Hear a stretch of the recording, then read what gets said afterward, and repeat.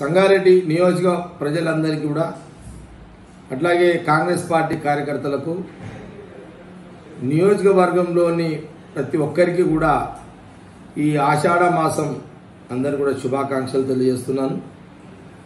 ఈ ఆషాఢ మాసంలో అందరూ కూడా మంచి వర్షాలు పడాలని అట్లాగే అమ్మవారికి మొక్కులు బోనాలు బోనాలు యొక్క కార్యక్రమాలు అమ్మవారికి నైవేద్యాలు దాంతోపాటు వనభోజనాలు అట్లాగే ఫ్యామిలీస్ కుటుంబం అంతా కూడా అందరూ ఒక దగ్గర కూడా మరి సామూహికంగా దుర్గామాతను నైవేద్యాలు పెట్టి వనభోజనాలు చేసి ఈ ఆషాఢ మాసం అంతా కూడా ఒక ఒక ఎంజాయ్మెంట్ ఒక అందరు కూడా కుటుంబంతో సహా అందరు కూడా ఈ ఆషాఢ మాసంలో అనేక మంది చాలామంది మరి సంతోషంగా గడిపే ఈ ఆషాఢ దినాలు రోజులన్నీ కూడా అందరికీ ఈ సందర్భంలో శుభాకాంక్షలు తెలియజేస్తున్నాను. ప్రధానంగా ముఖ్యంగా కాంగ్రెస్ పార్టీకి సంబంధించిన నాయకులకు కార్యకర్తలకు ఒక వీడియో నేను రిలీజ్ చేయడం జరుగుతుంది. అంటే కాంగ్రెస్ పార్టీలో ఉన్నటువంటి చాలామంది కాంగ్రెస్ పార్టీ అభిమానులు కానివ్వండి జగ్గారెడ్డి అభిమానులు కానివ్వండి చాలామంది పెద్దలు యూత్ కానీ ఎవరైనా కానీ చాలా అందరికీ కూడా ఒక ఒక విషయాన్ని చెప్పదలుచుకునేందంటే ఏంటంటే ఈ మధ్యకాలంలో అంటే ఈ మధ్యకాలంలో కానీ గతంలో కానీ నేను ఎమ్మెల్యే కంటే ముందు కూడా చాలామంది నా ఎంబడి ఉన్నటువంటి అనేక మంది నాయకులు టీఆర్ఎస్లో వెళ్ళడం జరిగింది. ఎవరు వెళ్ళిరు ఎందుకు పోయిరు అనే చర్చకు చర్చ చేయను కానీ నేను రెండు వేల పద్దెనిమిది ఎన్నికల కంటే ముందు నేను ఓడిపోయిన తర్వాత చాలామంది ఎంతమంది అయితే పదేళ్ళ కాలంలో నాయంబడ పనిచేసారో నాయకులు అయ్యారు చాలామంది సెటిల్ అయిపోయారు అన్ని రకాలుగా సెటిల్ అయిన వాళ్ళు చాలామంది పోయిన టీఆర్ఎస్లో పోయిన వాళ్ళందరినీ కూడా వాళ్ళు ఎప్పుడైతే మేము వాళ్ళు టీఆర్ఎస్లో పోవాలని అనుకున్నప్పుడు నేను ఎవరిని కూడా ఇబ్బంది నేను ఎవరి కూడా ఎవరి మీద కూడా ఆరోపణ చేయలే చెయ్యను కూడా. ఎందుకంటే వాళ్ళ అవసరాలు ఏందో వాళ్ళ పరిస్థితులు ఏందో వాళ్ళు టీఆర్ఎస్లో ఎందుకు పోవాలనుకుంటున్నారో అది వాళ్ళ వ్యక్తిగత విషయం అని కాబట్టి నేను ఎవరు కూడా తప్పు పట్టలేను తప్పు పట్ట. నేను రెండు వేల పద్దెనిమిది ఎన్నికల తర్వాత కూడా నేను ఎమ్మెల్యే గెలిచినాక కూడా మరి టీఆర్ఎస్కి సంబంధించిన వాళ్ళు వాళ్ళ నాయకులు కొంతమంది పోయారు మొన్న ఈ మధ్యల కాలంలో కూడా కొంతమంది సర్పంచులు కానీ కొంత ఎంపీటీసీలు కొంత ప్రజాప్రతినిధులు కొండాపూర్లో కానీ లేదా సదాశివపేట కానీ సంగారెడ్డి కానీ టౌన్ కానీ మండలాలు కానీ ఇక్కడ కొంత ప్రజాప్రతి ఎన్నికైన తర్వాత చాలామంది అక్కడ పోవడం జరిగింది. టీఆర్ఎస్లో పోతున్నారు ఇంకా పోతూనే ఉన్నారు నాయకులు అందరూ కూడా. కాబట్టి నేను పోయే వాళ్ళని ఎవరు కూడా తప్పు పట్టదలుచుకోలేదు ఎవరు కూడా విమర్శించదలుచుకోలేదు. సరే పోయే వాళ్ళందరూ కూడా వాళ్ళు ఏదో కొంత నా మీద విమర్శ చేస్తూ వెళ్ళడం జరుగుతున్నది. అంటే వాళ్ళకు కూడా ఏదో వాళ్ళ అవసరాలు ఏమున్నాయో వాళ్ళ పరిస్థితులు ఏమున్నాయో వాళ్ళ కోరికలు ఏమున్నాయో మనకు తెలియదు అదంతా.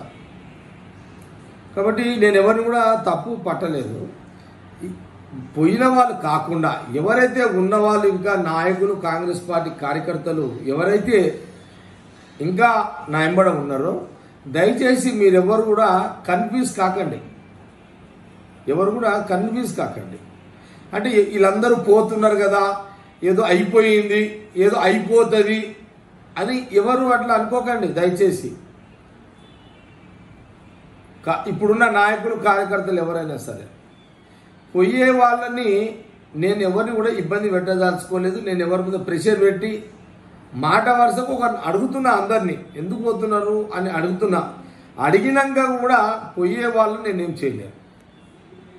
కాబట్టి ఇది ఒకసారి ఇప్పుడున్న కాంగ్రెస్ పార్టీలో ఉన్న ముఖ్య నాయకులకు కార్యకర్తలకు కాంగ్రెస్ పార్టీ అభిమానులకు జగ్గారెడ్డి అభిమానులకు ఒక మెసేజ్ ఇస్తుంది ఏంటంటే ఎవరైతే పోతున్నారో పోయే వాళ్ళని అడుగుతున్నా ఎందుకు తొందరపడుతున్నారు అని అన్నా.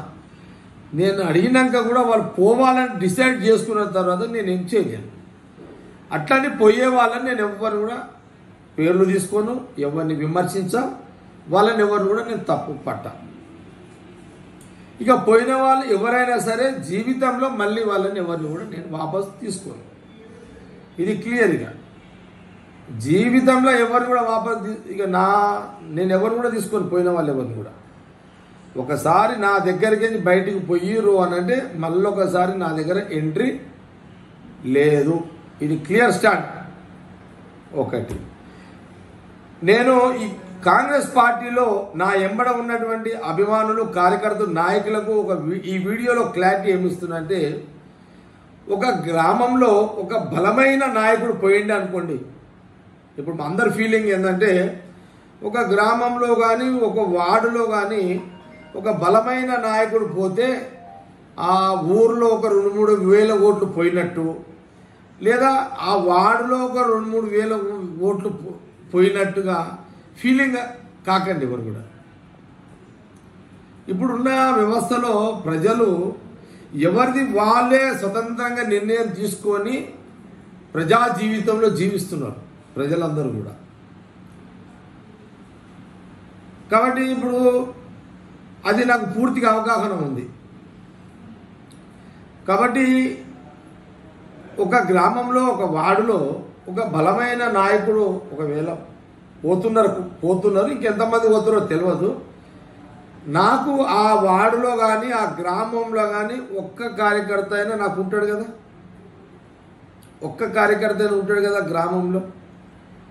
ఆ గ్రామంలో ఒక నాయకుడు కానీ ఒక వార్డులో ఒక నాయకుడు కానీ ఒక పెద్ద నాయకులు పోయిన తర్వాత ఒక్క కార్యకర్త నాకు ఉండడా? ఆ గ్రామంలో ఆ వార్డులో?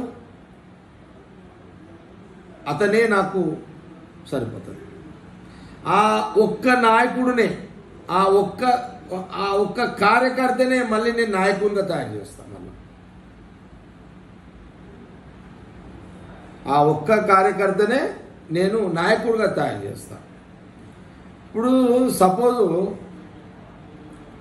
ఒక రైతు పంట పంట పంట పండడానికి అనేక ఇత్తులు వేస్తాడు ఇత్తులు వేస్తాడు ఆ ఇత్తులలో కొంత కొన్ని కొంత కాపుకొస్తాయి కొన్ని రావు. కాపుకొచ్చినాయి పోతాయి అనుకోండి మళ్ళా రైతు కాపుకొచ్చిన పోగా కూడా మళ్ళా రైతు మళ్ళీ ఏం చేస్తాడు? ఆ పంట కోసినప్పుడు మళ్ళా ఇత్తులే చేస్తాడు కదా. ఇత్తుల కొదవ లేదు. కాబట్టి నేను చెప్పిన పాయింట్ ఏంటంటే మళ్ళా నేను నేను సేమ్ అంతే రైతు తీరి అనుకోండి ఇక. ఒక పంట పోతే ఇంకో పంటకి ఇత్తులేస్తా. అట్లా నాకు ఒక గ్రామంలో కానీ ఒక వార్డులో కానీ ఒక్క కార్యకర్త మామూలు కార్యకర్త గుర్తుపట్టని కార్యకర్త ఉన్నా సరే ఆ కార్యకర్తనే నేను మళ్ళీ నాయకునిగా తయారు చేస్తాను గెలుపు ఓటములు సహజం. రెండు సార్లు నేను ఎమ్మెల్యే అయినా మూడు సార్లు ఓడిపోయాను మళ్ళీ గెలిచిన. సరే వచ్చే ఎన్నికల్లో ప్రజలు జగ్గారెడ్డిని గెలిపిస్తారా ఓడగొడతారా అనేది ఆ టైంకి డిసైడ్ అవుతుంది మళ్ళీ. నేను దాని గురించి ఏం టెన్షన్ పడతలేను. గెలిస్తే ప్రజా జీవితంలో పనులు చేసి పెడతా నా ప్రభుత్వం ఉంటే. ఓడిపోతే ప్రజా ప్రజల కోసం ఎప్పుడు పోరాటం సమస్యల మీద చేస్తూనే ఉంటా. నాకు అదైనా హ్యాపీ నాకు ఇదైనా హ్యాపీ నేను ఎమ్మెల్యేగా ఉన్నా నేను నా కార్యకర్తలను నా అభిమానులను నా ప్రజలను నేను కాపాడుకుంటా. భగవంతుడు ఆ శక్తి నాకు ఇచ్చింది ఓటమి పాలైనా నా కార్యకర్తలను నన్ను అభిమానించలను నేను కాపాడుకుంటా. గెలిచిన గెలిచినా పండుగలు చేస్తా ఓడిపోయినా పండుగలు చేస్తా. పండుగలకు రాజకీయానికి సంబంధం లేదు. ఓడిపోయినాక కూడా బోనాల పండుగ కానీ దసరా కానీ శ్రీరామనవమి కానీ హోలీ వేడుకలు కానీ క్రిస్టమస్ పండుగకు కానీ రంజాన్ సందర్భంలో కానీ అందరితో కలిసే ఉన్నా కదా ఓడిపోయినాక కూడా. కాబట్టి గెలుపు ఓటంలో ఆ టైంలో ప్రజలు డిసైడ్ చేస్తారు. దాని గురించి నేను ఆరాడపడ నా చరిత్ర అందరికి కూడా తెలుసు. గత పదేళ్ళ కాలంలో నేను మంజీరా నీళ్ళు సంగారెడ్డి టౌన్కి ఇంటింటికి మంజీరా నీళ్ళు తీసుకొచ్చిన. కొండాపూర్ మండలికి మంజీరా నీళ్ళు ఫిల్టర్ బెడ్ కట్టించిన. సదాశివపేట మండలానికి తీసుకొచ్చిన. సదాశివపేట టౌన్కి ఒక్క వచ్చేసరికి నాకు సమయం సరిపోలేదు మరి కొండ సంగారెడ్డి మండలం కంది మండలానికి ఫిల్టర్ బెడ్ కట్టించిన. మంజీరా నీళ్ళ మీద ఒక రెండు వందల యాభై కోట్లతోటి చేపించిన కదా అది. అది పనే కదా.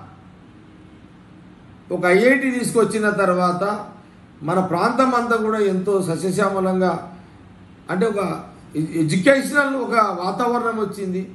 ఎంతోమందికి ఎంప్లాయ్మెంట్ దొరుకుతున్నది. చుట్టుపక్కల తాండాలకు గ్రామాలకు ఎంతో వెలుగు వచ్చింది. ఎంతోమందికి జాబులు దొరికినాయి. ఒక అగ్రికల్చర్ యూనివర్సిటీ ఒక పాలిటెక్నిక్ కట్టించిన పీజీ సెంటర్ తెచ్చిచ్చిన. రెండు వేల నాలుగులో ఎమ్మెల్యే కాగానే గంగారం నుంచి పడంచర్ నుంచి జైరాబాద్ వరకు ఫోర్ వే లైన్ వేయించిన సింగల్ రోడ్ ఉంటే నేను ఎమ్మెల్యే అయినాక కూడా అప్పుడు రాజశేఖర రెడ్డి గారిని పట్టుకొని నేను టీఆర్ఎస్ నుంచి అలా పోయినాక రోడ్ వేయించిన అది నేనే కదా వేయించింది సంగారెడ్డి చౌరస్తా నుంచి పాత బస్ స్టాండ్ దాకా వెడల్పు రోడ్డు నేనే కదా వేపించింది. ఆల్విన్ బైపాస్ రోడ్ నేనే వేయించిన కదా. మరి ఇక్కడ ఆ న్యూ బస్ స్టాండ్కి ఎదురుగా రాజంపేట రోడ్డు నేనే వేయించిన కదా. నటరాజ్ పక్క నుంచి రోడ్డు నేనే వేయించిన కదా. ఒక స్విమ్మింగ్ పూల్ కట్టించిన కదా. ఒక ట్యాంక్ బండ్ బతుకమ్మలు ఆడుకోని ఎంత మంచిగా కట్టించిన. ఒక ఒక రాజీవ్ పార్క్ కట్టించిన కదా. మనము కిరణ్ కుమార్ రెడ్డి సీఎం ఉన్నప్పుడు గవర్నమెంట్ హాస్పిటల్లో ఆడపిల్లలకు గర్భిణీ స్త్రీల కోసం సపరేట్ హాస్పిటల్ పన్నెండు కోట్ల రూపాయలు నేనే కదా కట్టించింది సీఎం తోటి తీసుకొచ్చి ఇనాగ్రేషన్ నేనే కదా ఇనాగ్రేషన్ చేయించింది చెయ్యండి ఏమున్నాయి ఇంకా? నా పదేళ్ళ కాలంలో నేను ఓడిపోయినాక ఒక్క పని ఈ పని జరిగిందని చెప్ అచ్చా కలెక్టర్ ఆఫీస్ బిల్డింగ్ ఎవరు కట్టించారు? నేనే కట్టించిన. రోషే గారే కదా దాన్ని ఇనాగ్రేషన్ చేసింది. ముఖ్యమంత్రి. కోర్టు బిల్డింగ్ ఎవరు కట్టించారు నేనే కట్టించిన. ఫండ్స్ తీసుకొచ్చి అప్పుడు కూడా నేను దాన్ని అది జుడిషియల్ కాబట్టి ఇనాగ్రేషన్ వాళ్ళే చేసుకున్నారని. గవర్నమెంట్ హాస్పిటల్లో ఐసీయూ నేనే కదా రెండు కోట్ల రూపాయలు తెచ్చిన తెచ్చిన ఒక ఆరు నెలలకు ఓడిపోయినా. ఆ టైం నేను ఇనాగ్రేషన్ చేసే టైం నేను ఎమ్మెల్యే లేను. గవర్నమెంట్ చేంజ్ అయింది వాళ్ళు చేసిరు అంతే తేడా.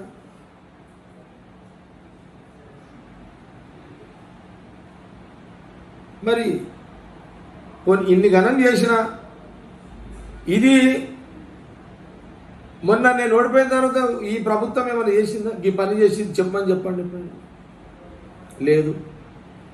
ఒకటేంటంటే మొన్న నేను ఎమ్మెల్యే గెలవడం జరిగింది కానీ నాకు కాంగ్రెస్ గవర్నమెంట్ రాలే. ఒకవేళ కాంగ్రెస్ గవర్నమెంటే వచ్చి ఉంటే ఒక రెండు వేల మూడు వేల కోట్లు తీసుకొచ్చి సస్యశ్యామలంగా చేసేటోని కాన్స్టిట్యున్సీని సంగారెడ్డిని.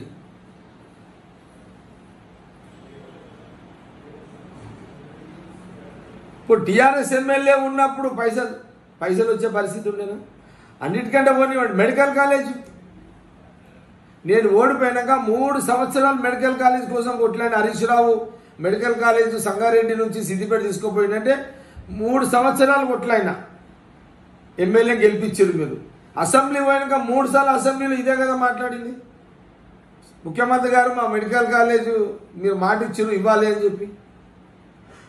నేను అడిగినందుకే కదా మూడేళ్ళు కొట్లాడినా. ఈ రెండేళ్ళు నేను అసెంబ్లీలో మాట్లాడినా. మాట్లాడినాకే కదా ముఖ్యమంత్రి జగ్గారెడ్డి అడుగుతున్నాడు నేను ఇస్తానని చెప్పి అన్నాడు అన్నాడు. అందరూ చూసారు కదా. ఇప్పుడు మెడికల్ కాలేజ్ వస్తున్నది కదా.